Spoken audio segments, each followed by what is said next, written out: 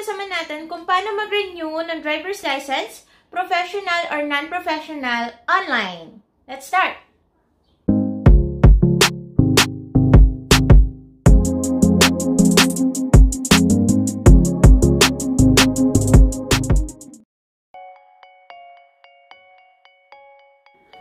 Una, alamin natin kung sino yung mga qualified para mag-renew ng kanilang mga driver's license. So, number one, dapat ang driver's license nyo or yung existing driver license nyo is not expired up to 9 years. Up to 9 years lang. Kasi for more than 10 years na expired yung driver's license nyo, kailangan nyo na ulit mag-back to zero. Kailangan nyo kumuha ng uh, student permit ng PDC and ng TDC. Number two, kailangan naman makumpleto nyo yung comprehensive driver's education and maipasa nyo yung exam after that. Parang may 25 items yata na exam. After nung CDE na tinatawag na yon, yun yung comprehensive driver's education. Uh, yun na yung new requirement ni LTO bago kayo makapag-renew ng driver's license nyo. So, may option yan kung saan nyo kukunin yung CDE nyo. Pwede yung online doon sa LTMS portal. Meron rin mga driving school na nagbibigay niyan pero alam ko may corresponding fees para makakuha ka ng CDE na yan. And number uh, another option is yung sa LTO. Meron silang mga training center yata na nagbibigay ng free CDE. Yun. So, ano yan? 5 hours course And after nun, yun nga, mag-exam ka and dapat maipasa mo yon bago ka makapag-renew ng driver's license nyo. So last, sa mga professional driver's license holder, kailangan wala kayong record ng 2 or more counts of reckless driving. Yon, dapat wala kayong mga ganong record kasi hindi kayo papayagan mag-renew pag merong nakitang record na, na, uh, na may reckless driving kayo ng two or more within dun sa validity nung existing driver's license nyo.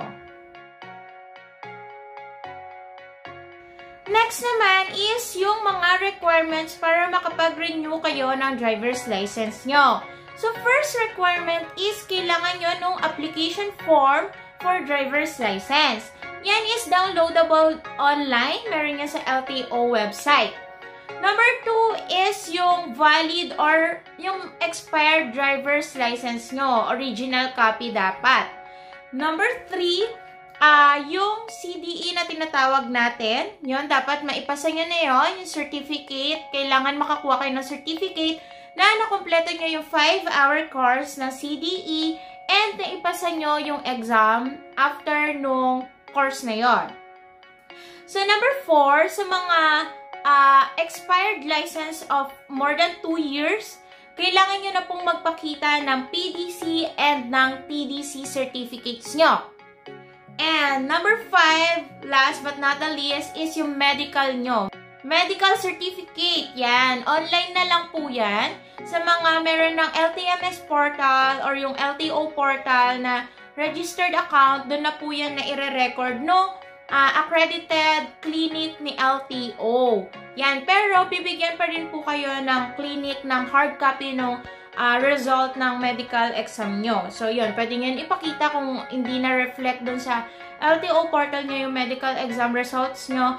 Or, yun. May option kayo na sabihin na lang na na uh, nakapag-medical na kayo and nandun na siya sa LTO portal nyo. Yan yung mga basic requirements ng ating uh, renewal, for renewal ng driver's license.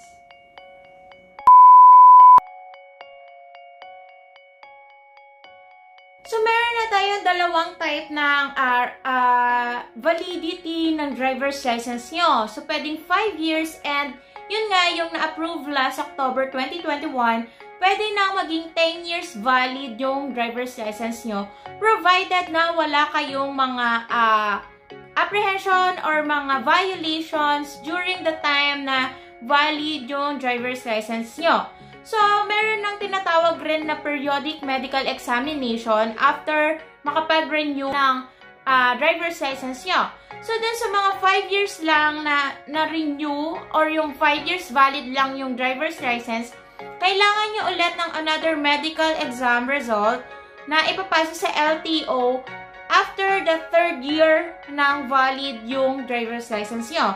And for the 10 years naman na valid yung driver's license nyo, kailangan nyo na rin pong magpasa ng periodic medical examination result after the 4th and 7th year na valid yung driver's license nyo.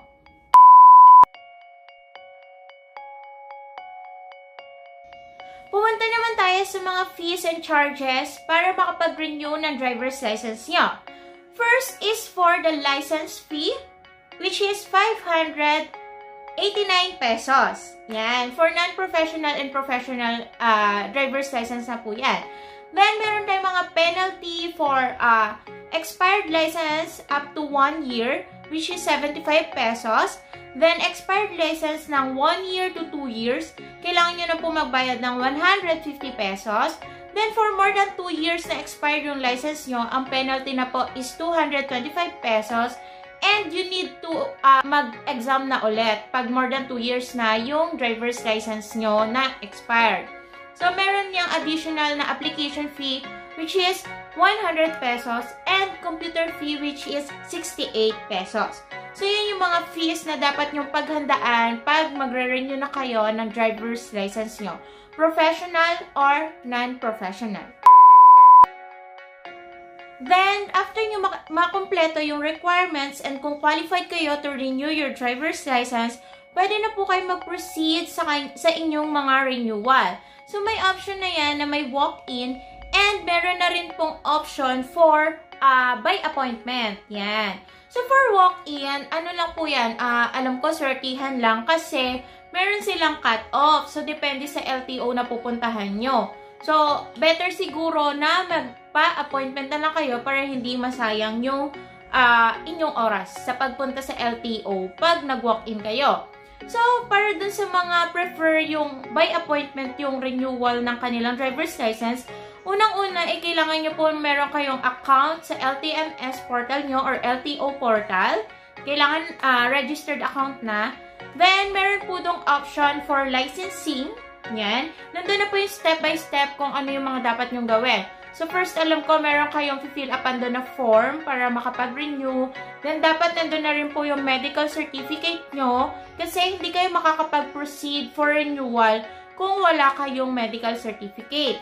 Then after nun, mag, uh, mag-check na kayo or titingin na kayo ng schedule na prefer nyo for appointment sa LTO. Mag, pwede na rin kayo mamili doon kung saang LTO branch kayo gustong mag-pa-renew. Uh, uh, better na tingin ko mas, mas magiging okay kung mag uh, online na lang kayo ng renewal nyo para mayroon kayong appointment pag pumunta kayo sa LTO branch. Kasi may mga uh, kilala ko na nag-walk-in doon sa LTO branch pero hindi sila na-accommodate kasi nga may cut-off. Kailangan yung pumila ng maaga. Around 6 a.m. dapat nandun na kayo kung gusto nyo makakuha ng slot or kung gusto nyo ma-accommodate kayo pag nag-walk-in kayo.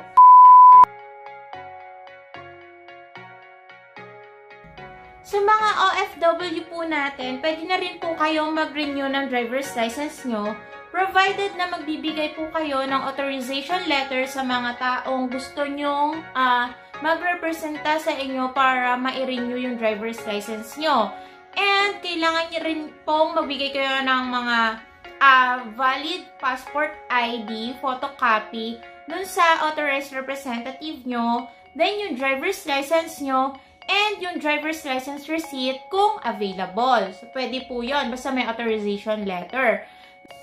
And upon arrival po nung OFW, ang, may mga requirements pa rin po kayo na dapat ipasa. So, first is yung driver's license nyo, kailangan nyo ipakita.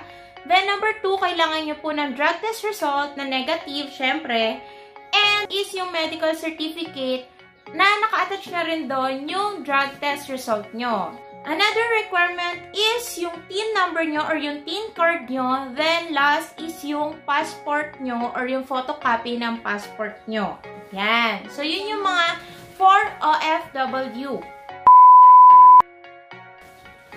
Yan guys, so yun na yung mga kailangan yung malaman para makapag-renew kayo ng driver's license nyo. So if you have questions regarding this vlog, please comment it down in my comment box below sasagutin ko kung may mga extra time ako kasi minsan natatagalan ako sa pagsagot sa mga questions nyo. So if you like this vlog, please like and subscribe. Thank you guys! Bye!